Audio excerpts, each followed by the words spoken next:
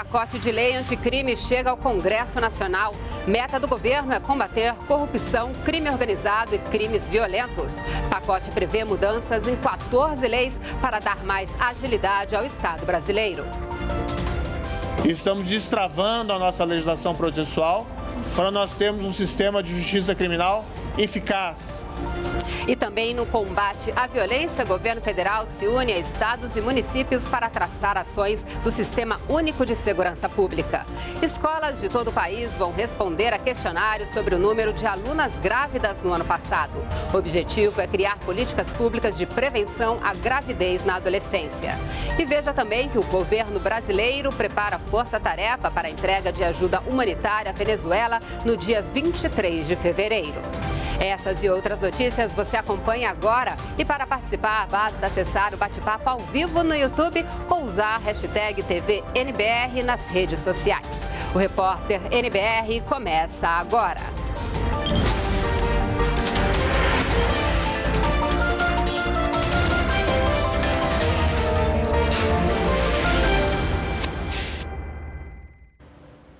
Olá, boa noite. No ar as notícias do governo federal desta terça-feira, 19 de fevereiro de 2009. O pacote anticrime foi assinado nesta terça-feira pelo presidente Jair Bolsonaro. São três projetos de lei que buscam combater a impunidade, aumentar a eficiência do Estado e trazer mais segurança para a população. O pacote anticrime prevê mudanças em 14 leis, entre elas o Código Penal, a Lei de Execução Penal e o Código Eleitoral. Para isso, o governo propôs três projetos de lei: um que altera regras da Justiça Eleitoral, outro que prevê a criminalização do Caixa 2 e um terceiro que trata das principais medidas para combater a corrupção, o crime organizado e os crimes violentos. Todos com medidas que nós reputamos eficazes contra crime organizado, crime violento e corrupção. São problemas que nós entendemos relacionados. Não adianta enfrentar um sem nós enfrentarmos os demais. Estamos destravando a nossa legislação processual para nós termos um sistema de justiça criminal eficaz, que seja efetivo, entre as medidas encaminhadas está a prisão após condenação em segunda instância e o cumprimento de pena em regime fechado para condenados por crimes considerados mais graves, como roubo e corrupção. Está prevista ainda a redução ou mesmo isenção de pena de policiais que causarem morte durante a atividade, que o que for confiscado como produto de crime poderá ser usado por órgãos de segurança pública e também que os crimes cometidos com arma de fogo podem ter uma punição maior. O texto prevê também que líderes e integrantes de organizações criminosas, ao serem encontrados com armas, iniciem o cumprimento da pena em presídio de segurança máxima. Os condenados que fazem parte desses grupos não terão direito a mudar o regime de pena, como sair do fechado para o aberto. A proposta amplia de um para três anos o prazo de permanência dos líderes de facções em presídios federais. No caso do Caixa 2, o ministro explicou que o governo está aberto a sugestões e que teve o entendimento de encaminhar o projeto de criminalização de forma separada. Existe o crime de corrupção, previsto no artigo 307 do Código Penal, e existe o Caixa 2, que hoje está previsto no 350 do Código Eleitoral, que é um crime que não está muito adequadamente tipificado. E o que o governo faz, assumindo um compromisso na linha de fortalecimento institucional do Estado de Direito, é propor uma tipificação mais adequada do Caixa 2. Qual governo fez isso antes? Nenhum. E depois de o pacote anticrime ser apresentado no Palácio do Planalto, o ministro da Justiça e Segurança Pública, Sérgio Moro, foi ao Congresso Nacional entregar os projetos ao presidente da Câmara dos Deputados, Rodrigo Maia. Mais detalhes na reportagem de Márcia Fernandes. O ministro Sérgio Moro chegou à Câmara dos Deputados acompanhado de uma comitiva de ministros, inclusive o ministro da Economia, Paulo Guedes. Moro entregou ao presidente da Câmara o pacote anticrime e destacou que, junto com os parlamentares, o governo federal quer fazer mudanças. O governo tem que ser uma liderança nessa mudança e pretende fazer isso junto com o Congresso, a convencer os parlamentares do acerto das medidas e, obviamente, estamos abertos ao diálogo para aprimorar o projeto aqui dentro do parlamento. Antes de virar lei, o pacote anticrime precisa tramitar no Congresso Nacional. Aqui na Câmara dos Deputados, os projetos foram protocolados, mas ainda não foram distribuídos para as comissões. Como são três projetos separados, eles podem tomar caminhos diferentes, podem seguir para avaliação de comissões, como a Comissão de Constituição e Justiça, ou podem ser analisados por uma comissão especial. Quem decide isso é o presidente da Câmara dos Deputados, Rodrigo Maia. Depois de passar pelas comissões, é a vez de todos os deputados, juntos, aprovarem ou não o projeto no plenário da Casa. O passo seguinte é no Senado. Lá, o caminho é semelhante. O presidente do Senado define por quais comissões vão passar cada projeto. Depois, é a vez dos senadores avaliarem os textos no plenário. Concluída a tramitação no Congresso Nacional, o presidente Jair Bolsonaro avalia se veta ou se aprova cada projeto do pacote. Secretários de Segurança Pública de todo o país se reuniram hoje em Brasília. O encontro contou com a participação do ministro Sérgio Moro. Eles trataram especialmente sobre o Sistema Único de Segurança Pública como colocar em prática medidas para reduzir a criminalidade nos estados e implementar o Sistema Único de Segurança Pública, sancionado no ano passado. Desafios discutidos entre o governo federal e secretários estaduais e do Distrito Federal. Segundo o secretário nacional de Segurança Pública, as regras de repasse de recursos também foram tratadas. A ideia é assegurar investimentos no setor para todas as unidades da federação. O grande debate que já aconteceu agora é porque nós temos um, uma transferência do Fundo Nacional de Segurança Pública, 50% é transferência direta do Fundo Federal para o Fundo Estadual. Só que seria 1 bilhão e 200, que corresponde a 2% dos ganhos da loteria que o ministro conseguiu. Mas nós temos uma lei que chama teto de gastos, e isso nos limitou a 500 milhões. Então, praticamente, nós ficamos com a mesma coisa. Então, o que está se discutindo e se debatendo é que haja um alargamento orçamentário para que a gente possa desfrutar de uns recursos a mais e transferir para os estados. O encontro do Colégio Nacional de Secretários de Segurança Pública vai até amanhã, quarta-feira.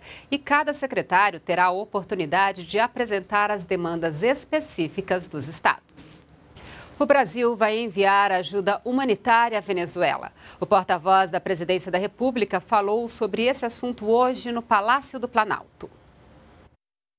O governo brasileiro está mobilizando uma força-tarefa interministerial para definir a logística da prestação de ajuda humanitária ao povo da Venezuela a partir do dia 23 de fevereiro, atendendo ao apelo do presidente encarregado Juan Guaidó.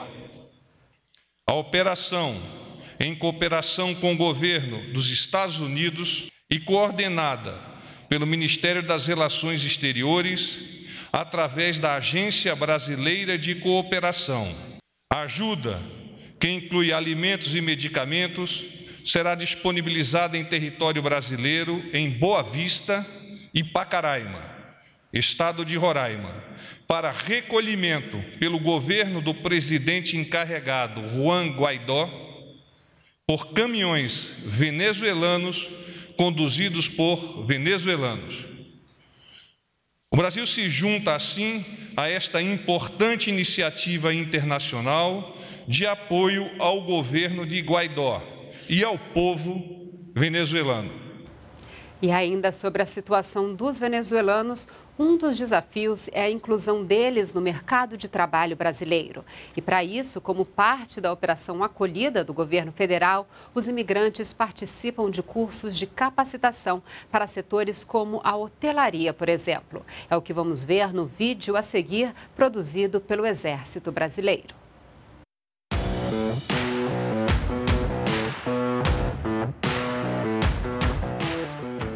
A Força Tarefa Logística Humanitária em Roraima está apoiando ações que visam a inserção de imigrantes venezuelanos no mercado de trabalho como mão de obra complementar naquelas vagas de empregos não preenchidas por brasileiros. O projeto BRIO, é, que significa dignidade ao imigrante, como é que ele surgiu? Como é que surgiu esse projeto? Né?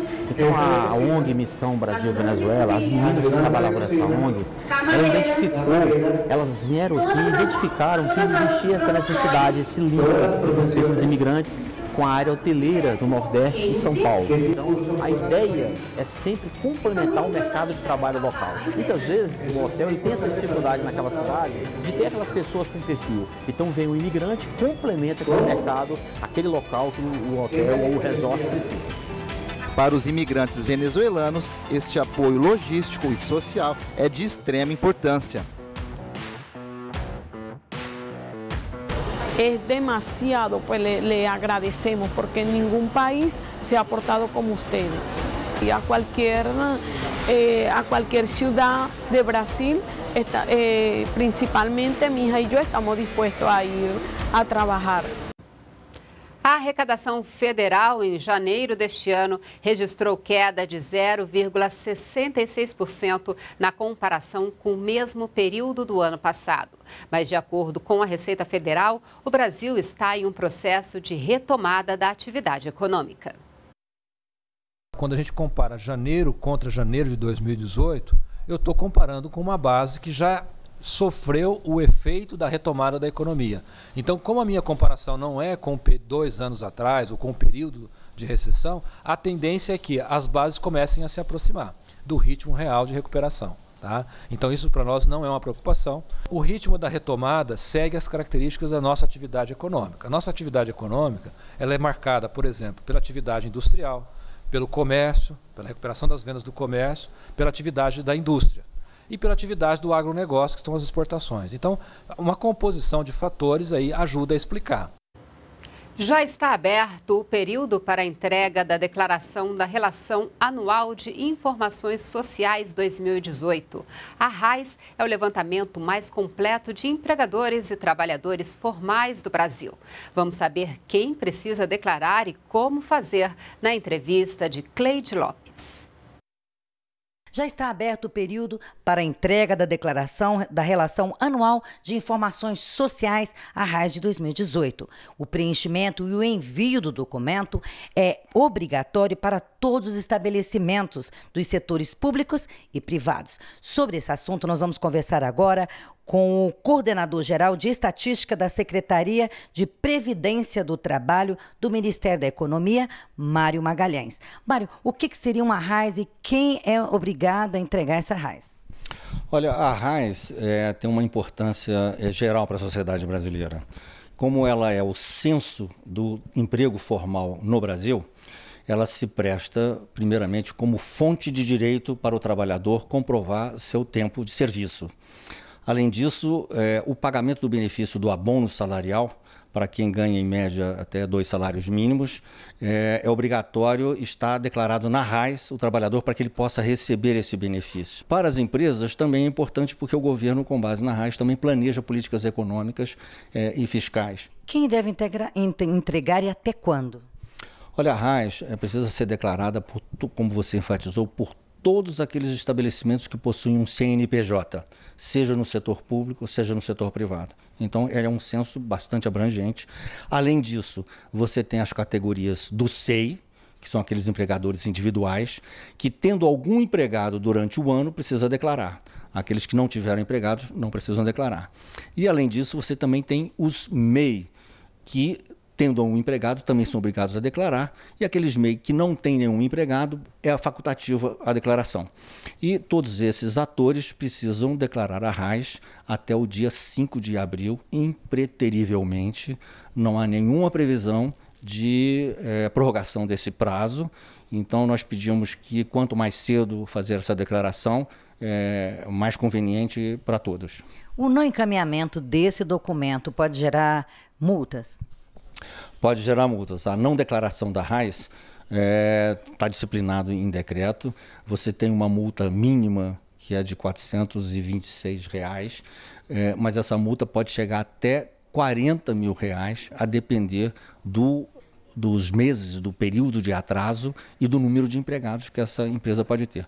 Então é conveniente para que, colaborando com a sociedade e evitando multa, o empresário providencie o mais rápido possível essa declaração.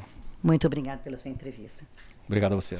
É bom lembrar que a entrega desse documento é até o dia 5 de abril e esse prazo não vai ser prorrogado. E essa entrega é feita pela internet. De Brasília, Cleide Ló. As escolas das redes pública e privada de todo o país têm até 15 de abril para responder a um questionário sobre a quantidade de casos de gravidez em adolescentes na instituição. A ficha está disponível no sistema Educacenso. As perguntas devem ser respondidas por gestores escolares ou profissionais determinados pelas instituições, que devem considerar somente os casos de gravidez na faixa etária de 10 a 19 anos de idade registrados em 2018. A iniciativa do governo federal tem o objetivo de mapear o número de casos para apoiar a criação de políticas públicas de prevenção à gravidez na adolescência.